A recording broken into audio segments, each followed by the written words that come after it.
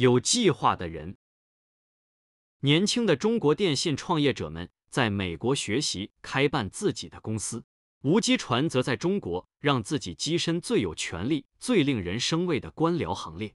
一九九零年，共产党提拔吴基传担任河南省委副书记，但是吴基传是一名电信工程师，让他在地方政府闲坐，看着全国的电话系统在自己于八十年代颁布的政策下建立起来，这让吴基传很不安。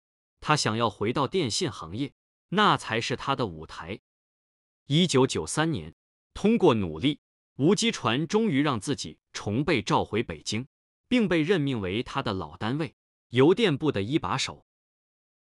等到 UT 斯达康在加利福尼亚成立，吴基传在北京已经风光无限。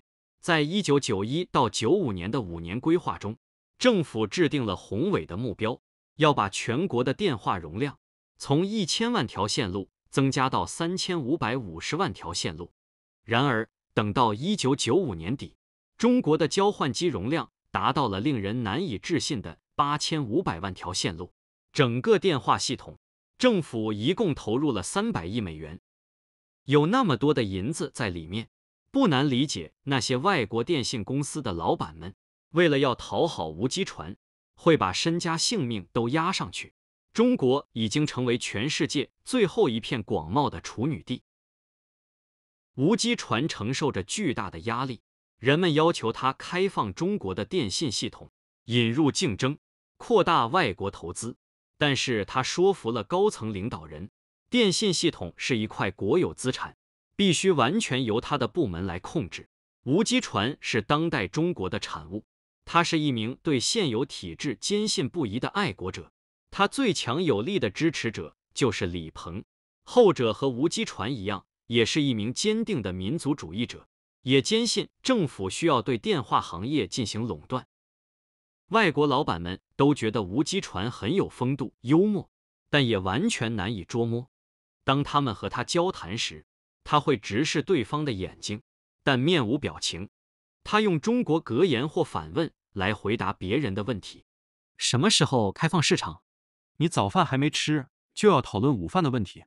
吴基传会亲自把客人送出自己的办公室，面带笑容，开着玩笑。当他们回到自己的办公室，翻开会议记录时，他们会发现吴基传其实什么话也没有告诉他们。他用空洞的保证让他们感觉良好。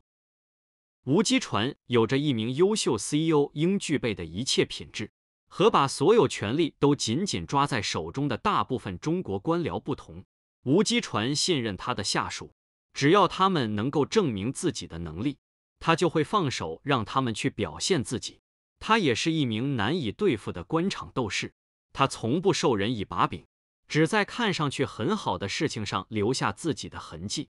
吴基传亲自负责他的部门对新兴电信技术的研究。他总是在采用哪种技术的问题上拥有最后的话语权。他的战略简单而野心勃勃，用别人的钱建立全世界最大最好的电话系统，同时为中国创造一个全新的技术行业。他知道竞争迟早都会到来，但是他希望这种竞争能够得到非常谨慎的管理。在吴基传的心目中，有一个全国性电话系统，由数家运营商组成。全部由他领导，各自专注于各自的细分市场。虽然中国的工程师和计划者们对无机船的功绩钦佩不已，但是更多的中国人痛恨邮电部。为了支持电信系统的铺设，无机船把通话费用和装机费用定得非常之高。人们安装一部电话需要等上好几个月，很多人选择多花数百美元的贿赂来提前安装电话。只有竞争，才能把重心从工程技术和基础设施转向客户满意度和财务业绩。甚至是无机船信任的下属，也开始要求加快改革的步伐，迫切希望体制能向外国投资开放。但无机船岿然不动，而且他有着很强大的支持者。在国务院，他辩解说，如果由多个运营商管理与国际社会的信息联系。国家安全就会受到威胁。官僚之战。但吴基传并没有控制住全国所有的电信系统。一个新的网络开始出现，核心是曾身为五名中国最高领导人之一的胡启立。他曾任政治局常委，后来由于在一九八九年天安门事件中反对北京实施戒严令而遭清洗。一九九三年，胡启立被任命为电子部部长，他制定实施了宏大的金桥工程。通过庞大的光缆和卫星系统连接全中国，其目的是为了统一全国的海关关署，防止贪污腐败，并把全国的银行和中央银行连接在一起，以便更好地控制信贷。为引入全国通用的信用卡，建立信用报告体系。此外，还有一个秘密的目的是为全国的党组织建立一个封闭的网络，一旦普通电话网失效。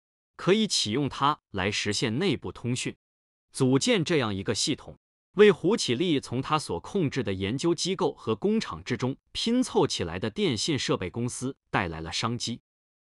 但是金桥工程无法为胡启立的公司带来足够的设备订单，而吴基传又命令他的采购官员只能从邮电部下属企业那里购买设备，他完全不想帮助电子部。成为中国主要的电信设备制造商，但是吴基传对工程和设备的关注，让他忽视了消费者。他们对服务太差的抱怨传到了最高领导人的耳朵里。吴基传反复强调，他需要时间来建立基础设施。他得到了李鹏总理的坚决支持。胡启立意识到，他所领导的部门必须走另外一条路。才能让他的电信设备厂家有可靠的收入来源，这意味着建立他自己的电信系统，给他的工厂带来设备订单。否则的话，吴基传只关心自己的供应商，而胡启立的工厂就只能关门大吉。为了寻求支持，胡启立转向负责他这个部门的领导人，告诉他们建立一家竞争性电话网络的重要性。在现有的由军队、铁路系统和电力部门运营的分散的网络基础上，组建一家新公司。一九九三年十二月，国务院批准成立中国联合通信股份有限公司，即联通。联通的股东包括电力部和铁道部，以及一批由不同地方政府机构组成的杂牌军。唯一的问题就是联通一分钱也没有。由于李鹏总理和吴基传的坚决反对。政府并不准备向联通输血，联通全得靠自己了。电信大亨，联通刻意的避免招聘任何电信部门的官员进入公司工作。从好的方面看，他们是无机传的奸细；从坏的方面看，他们会帮他实现对公司的控制。因此，联通从电子部、电力部和铁道部招聘了大批官僚。赵维臣是联通的第一任董事长，他是当时国务院副总理朱镕基的老同事。在众人眼里，赵维臣善于创造性的解决问题，但也是一名古怪的管理人员。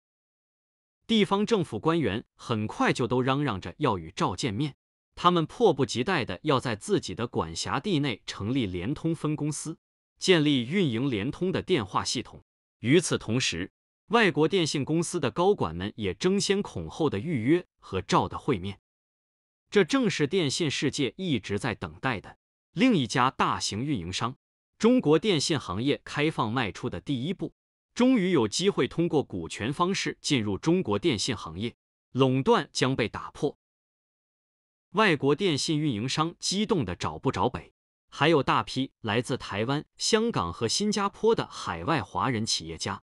他们闻到了赚大钱的机会，但是联通实在还算不上是一个公司，它更多的是一个横亘在部委之间尚未解决的分歧。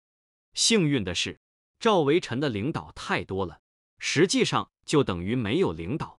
只要他不胡来，胡启立和邹家华副总理就总会支持他。他的股东急切的想要从电信的淘金潮中捞一笔。他们要的是赶快赚钱，倒并不在乎怎么赚。赵维辰首先要搞清楚的就是联通要成为一家什么样的公司。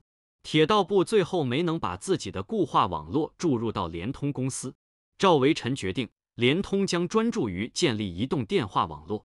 为了做到这点，他必须从吴基传手里挖一些频段出来。最后是邹副总理的一纸命令，否决了吴基传的反对。赵维辰的第二个决定是，联通要想成功，就需要像一个成功公司那样做事。虽然兜里没钱，但赵维辰开始树立联通的公司形象，来吸引更多的钱。他聘请亨利·基辛格担任荣誉顾问，他收集了很多自己和基辛格、前总统老布什、参议院共和党领导人 Robert Dole 以及众多其他世界顶级电信公司的高管的照片。这些照片挂在公司的墙上，让其他外国公司领导更有信心和这家中国的大企业做生意。每个人都想把钱塞给赵维辰，但是他很清楚，如果联通胆敢把一家中国电信公司的股权发给外国人，吴基传立刻就会在国务院灭了自己。如何才能得到外国人的钱，同时又不必出让控制权？他必须尽快采取行动。不能等到外国电信公司都失去兴趣。他还告诉那些涌进北京想要分联通一杯羹的地方政府领导，如果他们能够为当地的联通网找到投资人，他们就可以参与联通分公司的运营。很快，联通公司的老总们就变得傲慢而贪婪，支持联通的部委官僚们都给自己戴上了副总裁的头衔。外国电信公司并不知道到底谁拥有真正的权利，他们争先恐后的和任何一个能联系得上的副总裁会面。联通官僚等待着外国人来亲吻他们的脚趾，在外国经理宴请的饭桌上，联通经理们喋喋不休地讨论鲍鱼的厚度，以此来掩饰他们在电信行业的无知。更不用说联通公司未来的发展方向。事实上，大部分人最关心的是避免犯错误，这会威胁到他们各自的政治生涯。赵维辰了解很多租赁和建造运营转让方案。中国曾在建立收费公路和其他基础设施项目上采用过这些做法。他知道加拿大贝尔正努力傍上山东省政府一起建立联通网络。赵维辰说服加拿大贝尔的管理层。帮他建立了后来被大家所知的中中外电信投资结构。中中外的架构大致如此：外国公司与一家中国公司成立合资公司，该合资公司作为中国法人，再和当地的联通分公司组建合资公司。在这种中中外合资公司的架构下，外国投资人将提供电信设备、建立网络、培训联通如何运营。作为回报。外国公司将分得部分的销售收入，在二十年后，联通将拥有这些网络。赵维辰认为这种做法简直就是天才。每份合同还有一条条款说，如果中国的政策发生改变，外国投资将转换为股权。赵维辰很清楚这不可能，但是当然他也不会把这点告诉任何人。加拿大贝尔的经理们自诩这是进股权的计划。并说服了公司的董事会。一九九五年十月，在李鹏总理对加拿大进行国事访问期间，加拿大贝尔和山东烟台市在蒙特利尔签订了中中外合资协议。联通的教父邹家华副总理出席了签字仪式。邹家华在签字仪式上的照片很快就在电信业传播开来，成为中国中央政府批准同意中中外架构的证明。虽然证据只有这一张照片，几乎全世界每家电信公司都争先恐后的要在中国市场分一杯进股权的羹。由于联通尚未有豪华的总部大楼，因此他们在城西的谈判大楼中与来者会面。在改革开放之初，中国官僚们曾在这里挑动老外斗老外。每天，意大利人会被安排在一个房间里，加拿大人在隔壁。澳大利亚人在对面，美国人在旁边，还有大批台湾和香港的未来的电信大亨们，散布在大楼里的每个角落。这是中国增长疯狂中的里程碑。在头一年，联通就和外国公司签订了三十八份意向书，在北京、天津、上海和广州建立了移动手机网络。移动狂热。在联通草草拼凑全国手机网的同时，无机传所在的邮电部在全国各地的分部也在迅速建立他们自己的系统。但是为了实现这点，无机传需要更多的钱。一九九七年十月底，中国电信香港有限公司在纽约和香港同时上市，融资四十亿美元，比此前任何一家在海外上市的中国企业还要大十倍。无机传现在不仅控制着全世界增长最快的手机网络，它还在不出让任何实质性的控制权的前提下，从外国人手中拿到了大笔的钱。这来的正是时候。无机传的老做法，让外国政府资助自己的企业出售电信设备到中国，或保持很高的出装费和通话费来支持国内采购，已经行不通了。消费者对收费高昂、服务低劣的抱怨不断的传到国务院。在上市前，中国的电信扩张曾是彻底自由散漫的做法。省级政府的电信主管部门可以采用任何方式来募集资金，建立他们自己的网络。虽然这些地方电信局在政治上是无机传的下属，但是到底谁从法律上真正控制地方的电信资产，越来越不清晰。无机传通过上市明确的表明，所有的电信资产都在他的控制之下。他强迫广东和浙江两省的电信局。把他们的移动电话资产注入到新的境外公司，这使得全国的电信局都意识到，他们的独立性只在于通过创造性的办法建立本地的电信网络，而不是拥有。就在外国投资人为他们所看到的中国电信产业私有化所迈出的第一步而庆贺时，吴基传巧妙地强调了他对国内快速增长的移动网络的控制。上市增强了吴机传的政治力量，他在不出让控制权的同时，利用外国资本实现中国的现代化，在这方面他是公认的大师，这还为他在国外赢得了更多的尊重。当吴机传出国参加电信行业会议或访问外国公司时，人们待他如摇滚明星，公司为他安排私人飞机，在公共场合，他的身边围满了记者。吴基传发自内心的喜欢和其他电信官员在一起，他喜欢招待来中国访问的外国电信公司老总。当出国访问时，他文雅和蔼，低调谦让，避免很多其中中国官员特别热衷的元首一样的接待规格。他看上去就像一名普通的中国官僚，有着精心梳理过的背头、国产的旧款西服，以及在老人中很普通的大号眼镜。但是他略带浅色的镜片给他抹上了一丝阴险。很多外国公司高管在他背后总是称他为“说部部长”，两者倒是相得益彰。然而，吴基传也很清楚，技术和市场的力量正在日复一日地撕开他的帝国。联通的中中外架构，在如此之短的时间内就吸引了如此之多的外国投资。吴基传不得不策略性的。认可这种做法。一九九五年四月，他在一次国际电信行业大会上，告诉在场的国际听众，中国正在试验某种法律架构，它能让外国投资人通过中国电话网运营得到回报，但又不至于出让系统的股权。一九九七年五月，国务院颁布法令，允许联通可以在现有的手机和传呼机业务之外运营固话业务。联通。在为成为合法的第二运营商的战斗中更进了一步。这项法令默认了部分中中外合资公司已经开始建立固话系统。互联网进一步搅乱了局势。无机传听说了太多的关于新技术带来的电话话费经营活动，比如说在沿海福州市有兄弟俩，他们从网上下载了 IP 电话的软件，然后在他们的小电器商店中。向当地居民提供基于互联网的长话业务。到农村去。与此同时，UT 斯达康正在寻找适合中国市场的技术。他找到了一种名为个人手持电话系统，即 PHS。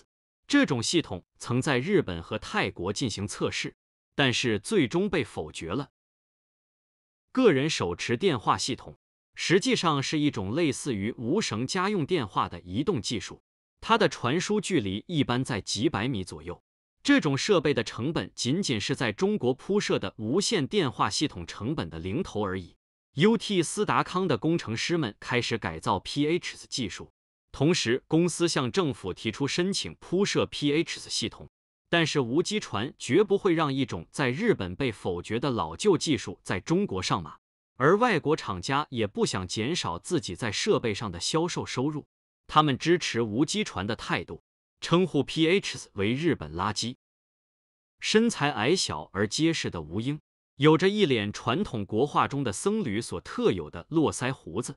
他在中国电信圈子中已经广为人知，颇有人缘，大家都叫他大胡子。虽然年仅三十六，吴英为人成熟稳重而坚韧不拔。他是人际关系的大师，但是吴基传拒绝与他会面。甚至有好几次在电信行业的大会上，当吴英试图和他握手致意时，他都很巧妙地避开了。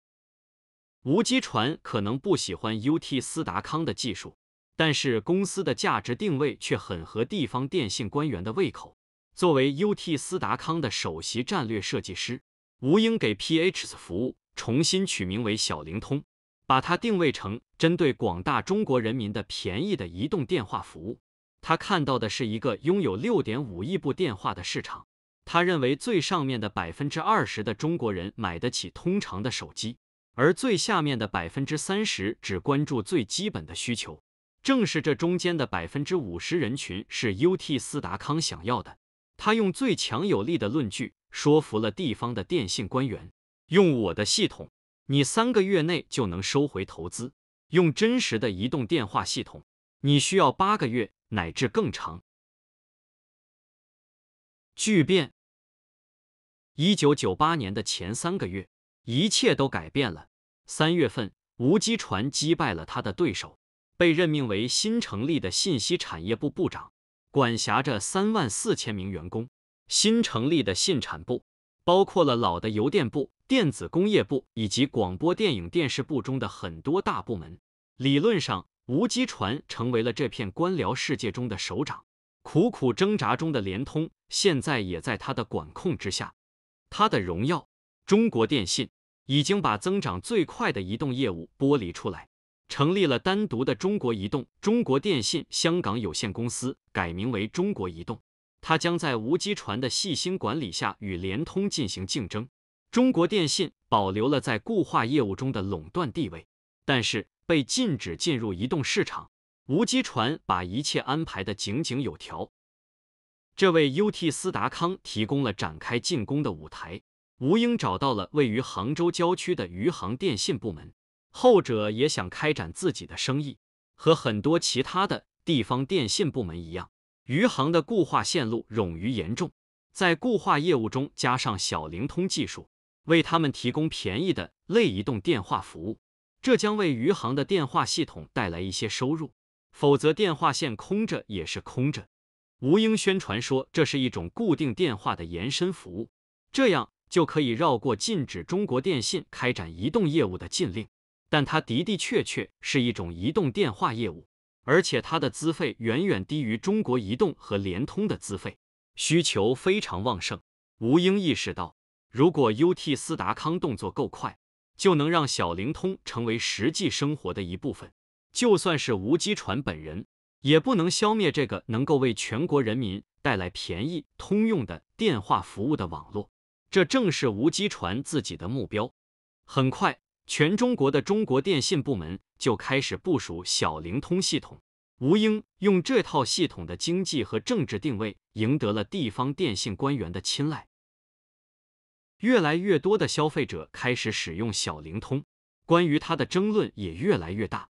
如果吴基传能在国务院投入更多的精力，他本可以让这块业务胎死腹中。小灵通的确让他很苦恼，因为这是在中国唯一一项未经他批准的电信技术，但他又真的不能对小灵通的价值定位说什么。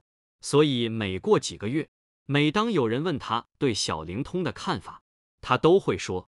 诸如“我不喜欢小灵通”这样的话，UT 斯达康的合同一再延期，但是吴英总是能够让公司里的每个人都重新振作起来。业务得以持续。吴英在正确的地方、正确的时间打出了正确的一击，他不断的调整球门柱，始终保持在法律允许的界限之内。吴基传在信息产业部的很多官员都痛恨小灵通，但是吴英在他的身后召集了强大的后援。边远城市的消费者成群结队的购买小灵通，无机船降低了移动的费率，但是小灵通的价格依然要比普通手机低百分之八十，因为它是固话的延伸，而不是移动电话。每当 UT 斯达康的员工由于无机船在公开场合屡屡贬低小灵通而心生退意时，吴英就会和他们说：“我们唯一的盟友就是消费者，我们不能丧失信心。”因为他们站在我们这一边，吴基传明白吴英是对的，因此他给了 UT 斯达康一定的舞台，他自己的关注点则转移到更为重要的问题上。中国的互联网正在失去控制，无数的创业家在国际投资人的资助下建立成千上万个网站，它在不断的扩散膨胀。更令人担心的是，联通采用的中中外合资方式。正在变成一颗已经进入倒计时的定时炸弹。